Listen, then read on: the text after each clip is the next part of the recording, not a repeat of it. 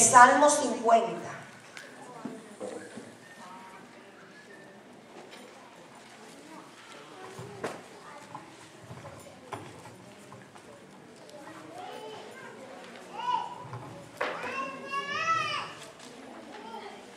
Una de las razones por las que me gustó mucho el himno de victoria es porque el Señor, la palabra que me dio para el día de hoy es la promesa, la promesa que Él tiene para nosotros.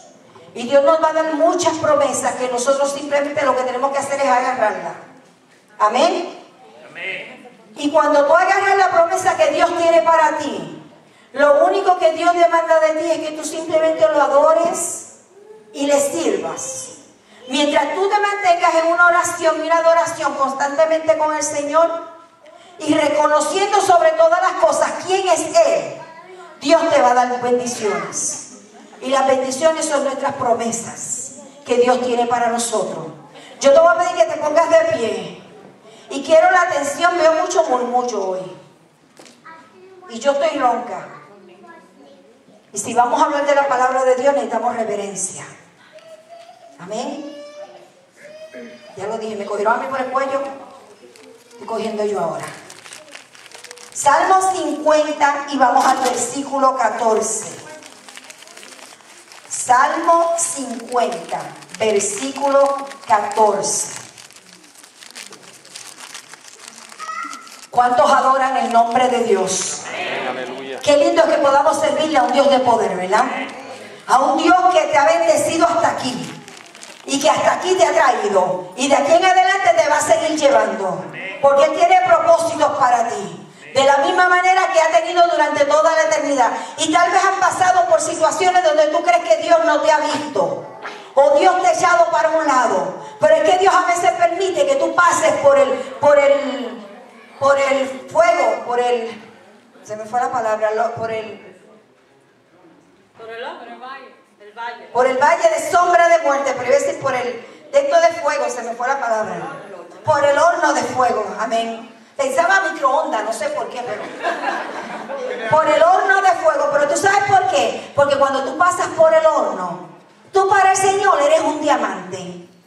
Y cuando el Señor pasa el diamante por el, por el fuego, por el horno de fuego, es para que se pula. Y eso es lo que el Señor quiere hacer con nosotros. Pero para nosotros ser pulidos, nosotros tenemos que entender muchas veces de qué manera nosotros tenemos que trabajar. Amén. Y por eso y eso me di cuenta ayer, cuando estaba repasando la predicación, yo decía, Señor, es que las veces que he estado predicando, tú me has traído a cómo nosotros tenemos que hacer una u otra cosa. Y eso es exactamente lo que nosotros queremos traer al pueblo, a que entendamos qué es lo que el Señor quiere para nosotros. Y dice el, el Salmo 50, versículo 15, 14. Sacrifica a Dios alabanza y paga tus votos al Altísimo.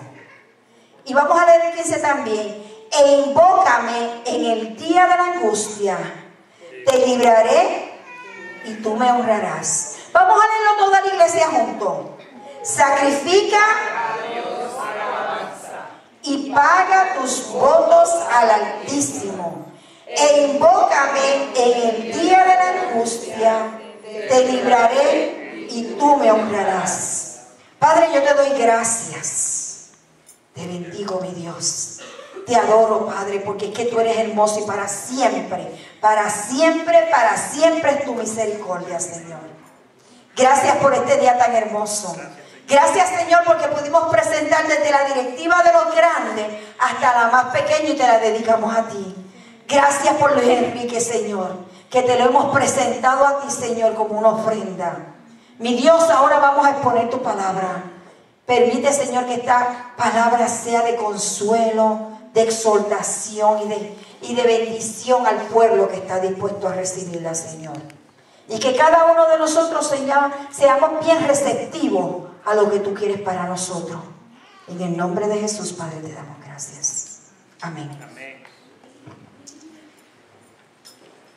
La Biblia dice que los cristianos tenemos que reclamar las promesas de Dios. responsabilidad. Reclamar esa promesa de Dios para ti. ¿Y qué significa reclamar? Significa que tú vas a pedir, pero tú tienes que estar seguro de que lo que tú estás pidiendo, tú lo vas a recibir. Les voy a contar algo. Veo todavía algunas personas hablando y yo creo que eso es importante, el silencio, cuando estamos hablando de la palabra de Dios. Hay una historia de Alejandro el Grande, un rey que tenía un montón de dinero y tenía un montón de personas que trabajaban para él. Y dice la historia que este hombre tenía un hombre a su servicio que era un fiel siervo de él. Un hombre que nunca faltaba a su trabajo. Un hombre que todo lo que él pedía, el rey pedía, este hombre lo complacía. Pero este hombre dentro de su hogar era un hombre extremadamente pobre. Un hombre que tenía muchas necesidades económicas. Un hombre que no podía proveerle a su familia lo que verdaderamente su familia necesitaba. Él comía en la casa del rey, pero no podía llevar comida a su familia. Y un día Alejandro el Grande vio la cara de este hombre con tristeza, y se le acercó y le preguntó qué era lo que le estaba mortificando. Este hombre le dijo que tenía una necesidad económica muy grande, que tenía que suplir a su familia y que no tenía los medios para hacerlo. Como este hombre había sido fiel y le había servido al rey en todo momento, el rey le dio la orden de que fuera donde el tesorero y le dijera al tesorero la cantidad de dinero que él quería y que el tesorero se lo iba a dar. El hombre, muy obediente, fue donde el tesorero y allá fue y le dijo que quería una cantidad. Y la cantidad que pidió fueron 10 mil libras. El tesorero se sorprendió por lo grande que era la cantidad que le estaba pidiendo. Y le dijo a él, yo no te puedo dar esto hasta que yo hable con mi rey. Fue el tesorero y habló con el rey y cuando le explicó al rey todos los detalles, el rey estuvo escuchándole en silencio y al final le dijo, dale todo lo que él pide, porque él ha reconocido cuán valioso son mis tesoros y me ha sido fiel hasta este momento. El tesorero no tuvo más remedio que darle eso. Pero ¿por qué te quiero contar esta anécdota primero? porque así somos tú y yo. Nosotros simplemente tenemos que reconocer a quien nosotros le servimos. Nosotros tenemos que reconocer quién es Dios. ¿Qué Él ha hecho por mí? ¿Qué Él ha hecho por mi familia? ¿Qué Él ha hecho por mi iglesia? Por mis amigos? ¿Qué Él ha hecho por todo el que me rodea? Porque muchas veces nosotros no tenemos o no queremos dar testimonio de las maravillas que Dios hace con nosotros. Pero escuchamos la que hace con nuestros amigos. Y por eso nosotros tenemos que glorificar a Dios. Porque aunque nuestro amigo no lo haga, tú puedes glorificar a Dios por lo que el Señor ha hecho en él. Pero tienes que reconocerlo. Y es muy importante que tú reconozcas esto. Estamos hablando hoy acerca de las promesas de Dios. Y yo titulé este, este mensaje, las promesas de Dios son mías. Yo las voy a reclamar para mí. Si tú no quieres reclamarlas, yo me apodero de las tuyas. Pero Dios tiene promesas, la palabra tiene más de 10 mil promesas. Si tú te pones a buscar verdaderamente en cada página de la Biblia, Hicieron un estudio una vez y decía que tú estarías más de 10 años consecutivos buscando promesas en la palabra porque son tantas que no podrías parar de buscarlas. Cada página de la Biblia tiene una promesa para ti, pero también tiene un requisito para ti. No creas que la promesa va a venir simplemente porque tú eres el nene de mamá. Lilia decía los otros días, que ella era una de las nenas lindas de papá, porque ella le decía al Señor, entraba a una tienda y decía, yo quiero esto así, así, así, y así lo encontraba. Y qué lindo que Dios nos tenga en ese lugar.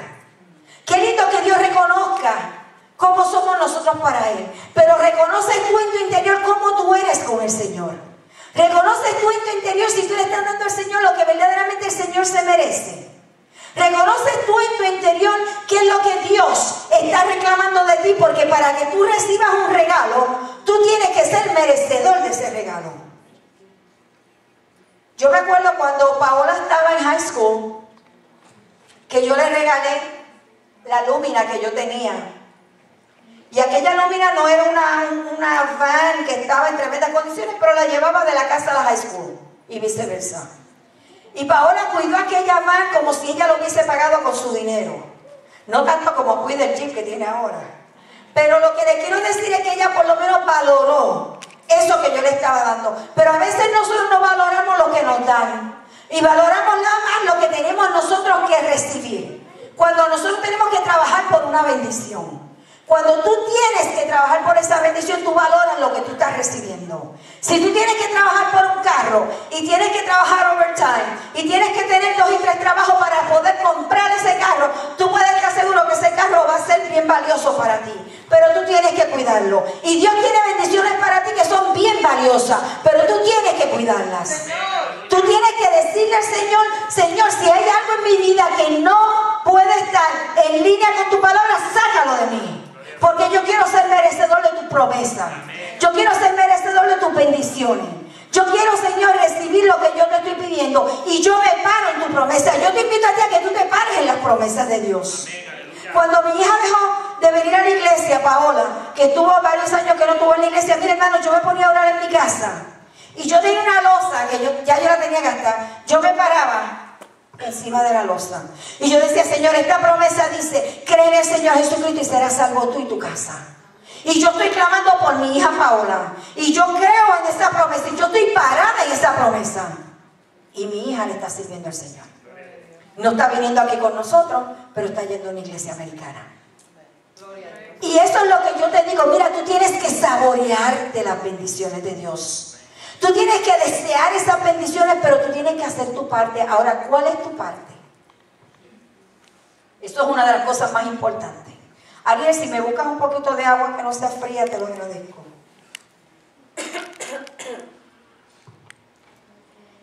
¿Cuál es tu parte? Tu parte es adorarle. Tu parte es entregarle tu vida. Tu parte es honrarlo. Tu parte es hablar con Dios. Hace un tiempo atrás, aquí hicimos una vigilia y me pidieron que trajera una parte.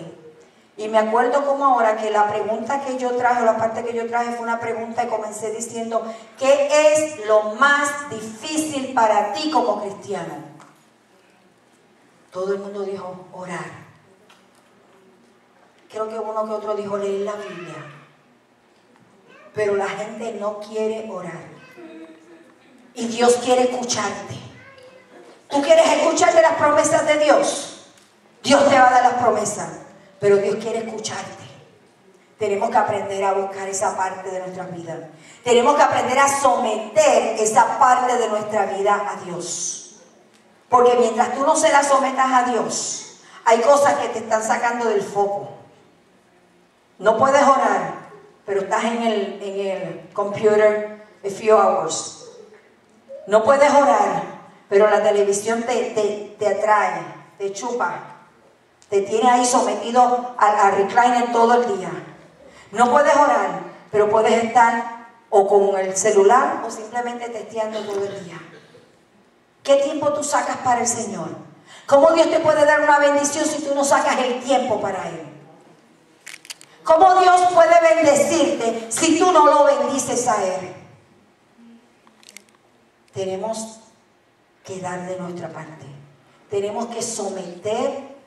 Y hermano, lo, lo más que le voy a decir, que todo lo que estoy hablando no está escrito en ese libro. Dios me está hablando y le estoy diciendo lo que Dios me está diciendo. Porque lo que estoy hablando no está escrito aquí en nada. Dios quiere que su iglesia se someta. Dios quiere que su iglesia vuelva a la visión, la visión de búsqueda de Dios. Y pienso que si Dios me dio la fecha de este ayuno congregacional es porque Dios tiene una bendición, una promesa bien grande para nosotros. Nosotros estamos esperando hace tiempo por esa promesa. Pero la promesa no va a venir si el pueblo no se somete. La promesa no va a venir porque seamos los lindos del papá. La promesa va a venir para aquellos que verdaderamente se busquen del Espíritu en verdad, del Espíritu de Dios en verdad. Gloria a Jesús. Te adoro, Señor. Mira, si Dios dio promesa desde el principio. Cuando nosotros buscamos, la primera promesa fue la de restauración. Adán cayó, lo primero que él creó, el hombre. Sin embargo, el Señor lo buscó y lo restauró. Dios tiene promesa desde ese momento. Luego vino la, promesa para Abraham. Después vino la promesa de David. Y así ha seguido la promesa Noé de que no va a destruir más el, la tierra. No va a destruirlo más con agua. Y no solamente eso, sino que le dejó un pacto ahí, que cada vez que llueve, que sale ese arcoíris, esa es la señal de la promesa. Y Dios quiere poner una señal de la promesa sobre ti. Pero tiene que haber sometimiento en ti. Tiene que haber como hizo Noé. Si vamos a hablar de Noé, construir un arca en un sitio donde hacía tantos, tantos, tantos años, no estoy hablando de 5, 10, 15, 20, cientos de años que no llovía. Pero la obediencia trajo la bendición. Porque el arca no fue construida para meter animales. El arca fue construida dándole la oportunidad al hombre de que se sometiera a Dios. Sin embargo, el hombre no quiso hacer caso. Lo que vino fue la burla, lo que hay hoy en día. Tú le hablas a alguien de que el Señor viene y la gente lo que hace es que se burla. Gracias, Ariel. La gente lo que hace es que se burla porque no creen en esa promesa de Dios. Y yo lo dije esta mañana, cuando, esta tarde cuando empecé a orar aquí, la promesa más bella que Dios ha dicho, que para cada uno de nosotros que la busquemos, es cuando Él dice, vendré otra vez a buscarlos. Y Dios está ahora mismo allí preparando morada. El Señor está preparando un lugar para ti precioso. Pero tenemos que trabajar para, que esa promesa se cumpla en mi vida. Porque si la promesa no se cumple en mi vida, yo no voy a ver la bendición de Dios. Yo no voy a ver el pacto de Dios. Y eso es lo que te quiero instar a ti, a que tú busques eso. Gloria a Dios. Santo, la palabra dice, me hallarás. ¿Tienes idea cuántas promesas hay que Dios le dice, me hallarás si simplemente me buscas? Eso es lo que Dios quiere que tú le busques. ¿Tú entiendes lo que yo estoy hablando? ¿Estamos claros? ¿O es que la gente no le gusta que le digan que no estás haciendo lo que Dios quiere que tú hagas? Hermano, yo no estoy señalando a nadie. Yo simplemente te estoy hablando a tu conciencia, a tu corazón. Porque esto que te estoy diciendo no me lo estoy inventando yo, me lo dio el Señor. Y si yo digo que Dios me dio algo que no me ha dado, es una blasfemia. Y yo no voy a blasfemar contra el Espíritu. Yo te estoy diciendo lo que Dios quiere de ti. No esperes al primero de abril para entrar en un ayuno y reconciliarte con Dios o buscar ese acercamiento a Dios. La promesa de Dios está ahí. Simplemente tú tienes que agarrarla, como yo te dije ahorita. Saborear lo que Dios tiene para ti es fácil si simplemente tú pones tu mano en el arado. Amén, aleluya. En ocasiones nosotros mismos nos cortamos las patas, como dicen en Puerto Rico. En ocasiones nosotros mismos le torcemos la mano a Dios. ¿Cuántas veces Dios quiere trabajar con nosotros y nosotros ponemos un alto? Porque no queremos que Dios nos cambie nuestros planes. No queremos que Dios transforme lo que yo tengo en mi mente. Cada uno de nosotros tiene planes en el futuro. Tal vez no sean unos planes a largo tiempo. Pero ¿cuántos de nosotros nos gustaría ir a, como yo decía la semana pasada, a Israel? Eso es un plan que tal vez está bien atrás. Y se te puede cumplir si lo pides de corazón. Eso es lo único que Dios te pide. Pídeme. Pídeme que yo te lo voy a dar. Pero no es pedirlo y ya, te lo pedí y me fui. No, sométete a Dios. Sométete a tu palabra. Sométete a la voluntad de Él. Busca ese rostro de Dios. Porque Dios tiene esas promesas. Pero solamente si tú le buscas en espíritu en verdad. Como yo dije ahorita, exhortación, adoración, oración. Oración es hablar con papá. No solamente lo adoremos aquí, adóralo en tu casa, adóralo en tu trabajo, adóralo en cada cosa que tú hagas. Adora a Dios. Porque a veces venimos y adoramos aquí a Dios, pero ni siquiera entendemos lo que la palabra dice. Lo que la alabanza está diciendo, no entendemos esa palabra. Métete dentro de la adoración, métete dentro de la exhortación, porque eso es lo que el Señor quiere, que tú te metas dentro de esa bendición, porque por medio de esa bendición, Él te va a bendecir a ti. Aprende a saborearla. No me canso de repetirla. Saboreala, disfrútala, ama esa bendición y haz lo tuyo. Porque cuando tú hagas la bendición tuya, tú vas a sentirte cerca de Dios. A veces esto puede sonar repetitivo. Pastor, en otras veces ha hablado de eso, otra persona ha hablado de eso, pero a veces se nos olvidan. Y viene a mi mente cuando Pedro pasó cerca del paralítico y el paralítico le pidió dinero y Pedro le dijo, no tengo nada, simplemente levántate y anda. A lo mejor aquel paralítico se le había olvidado cómo andar o cómo menos levantarse. Sin embargo, a lo que Pedro le ordenó, él obedeció. Y aunque tal vez mucha gente le hubiese dicho lo mismo cuando él escuchó la voz de Pedro, reconoció que era el Señor que le estaba hablando a través de Pedro. Yo te digo en esta tarde, reconoce que es el Señor el que está hablando a través de mi voz. Y levántate y anda, pero no andes detrás del hombre, anda detrás de Dios. Adórale, bendícele y acompáñalo. Tenemos que someter nuestra carne, tenemos que luchar por nuestra bendición. No solamente la bendición mía, sino la bendición de mi familia. No solamente la bendición de mi familia, sino la bendición de los, mis compañeros de trabajo o mis compañeros de escuela. La bendición es para ti. La promesa es para ti. Pero lo único que tú tienes que hacer es clamarla. Pongámonos de pie. No voy a continuar más. Tengo más en la mente, pero no quiero continuar más. Porque yo creo que tenemos en estos momentos que hacer un examen de conciencia cada uno de nosotros. Mira, yo no te voy a pedir pasar al frente, yo no te voy a decir que vamos a orar, no, si tú quieres pasar al altar, vete al altar. Y dile allá al Señor, Señor, yo quiero tu promesa, porque tus promesas de Dios son para mí. Pero promete, comprométete con el Señor también no solo a que tú quieres las promesas, sino que tú vas a cambiar tu manera de ser. Tú vas a adorarle, tú vas a bendecirle, tú vas a exhortarle, pero tú vas a hablarle también. Comprométete con el Señor en este día en oración. Tenemos que hablar más con Dios. Tenemos que sacar el rato de la oración con Dios. Dios quiere escucharte. Dios quiere escuchar tu corazón. Dios quiere escuchar tu queja. Dios quiere escuchar tu petición.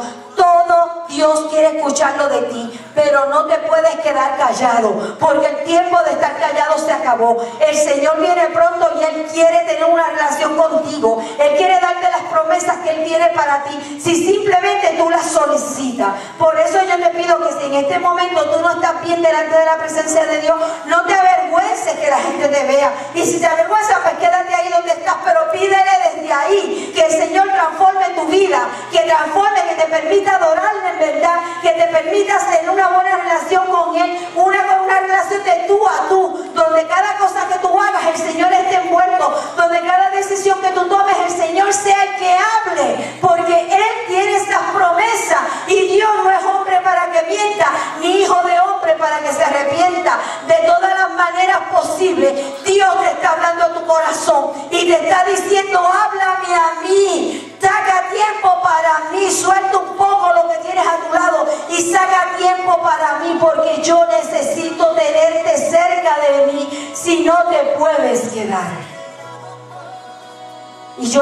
quisiera que cuando el Señor viniera se quedara nadie de ustedes. Mi deseo delante del Señor es que subamos todos allá a las mansiones. Que allí podamos correr como los corderitos en la manada, adorando a Dios. Yo te voy a dar unos minutos. No mucho. Porque ya tú tienes que haber hablado en tu corazón. Pero sí te quiero decir como último, si tú no te reconcilias con el Señor en tu relación, no digo en tu entrega porque entiendo que todos los que estamos aquí conocemos de Dios, pero tenemos que reconciliarnos con el Señor en nuestra relación con Él. El Señor no puede ser tu Señor de los domingos. El Señor es tu Señor de domingo, lunes, martes, miércoles, jueves, viernes y sábado. El Señor debe ser tu Señor de 24 horas, de 7 días a la semana. De que cada segundo tú te acuerdes de Dios y hables con Él. Porque si no, las promesas no van a caer sobre de ti. Si no, las promesas no te van a llegar. Está en tus manos. Mi labor fue decírtelo. Y te digo que el Señor me cambió completamente el mensaje. Habla con Dios. Dile al Señor que te prepare. Y que si tú vas a participar en este ayuno, te vas a comprometer con Dios, porque no es conmigo, yo lo voy a hacer. Porque hace tiempo Dios lo puso en mi corazón. Pero si tú te comprometes con Dios de hacer estos 21 días de oración y ayuno, yo te aseguro que tu vida va a cambiar. Yo te aseguro que la paz de Dios va a caer sobre de ti. Las bendiciones van a llover y las promesas van a ser en abundancia. Padre, yo te presento a tu iglesia. Yo te presento, Señor, a cada uno de los que aquí están. Gracias, Señor, porque transformaste mi mensaje, Señor. Aunque me tomó varias horas hacerlo, a mí no me importa. Es lo que tú digas, no lo que yo diga. Señor, yo te pido por el alma de cada uno de los que aquí están, Señor. Si hay alguno, Señor, que tiene alguna cosa puesta delante de ti, Señor, donde no tiene tiempo para hablar contigo, Señor, que es lo que tú me estás demandando en este día, Señor. Que tú les tires el tiempo. Si tiene que romperle la computadora, rómpesela. Si tiene que romperle el televisor, rómpeselo, Señor. Pero que te pongamos a ti primero. Porque no hay nadie como tú, Señor. Tú eres el único Padre.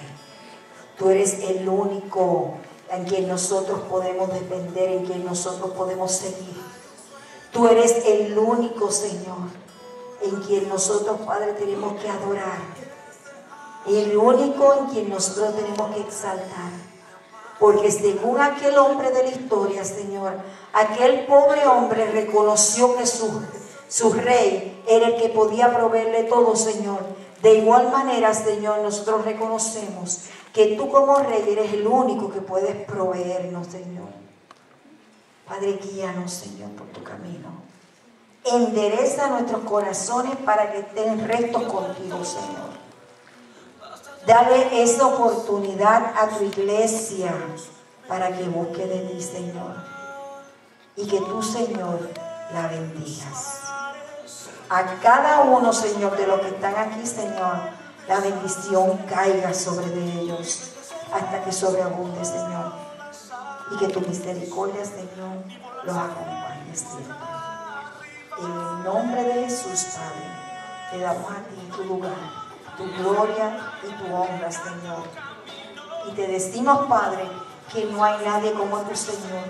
Y que si hoy, Señor, tú llegaste, como nuestros corazones están receptivos, Señor, y están dispuestos a cambiar y a buscar más de tu presencia, Señor, nos vamos a ir contigo. Sí, Señor, aquí estamos, esperando por ti. Gracias te damos, Señor, y te adoramos, mi Dios. En el nombre del Padre, del Hijo y del Espíritu Santo, Señor. Amén.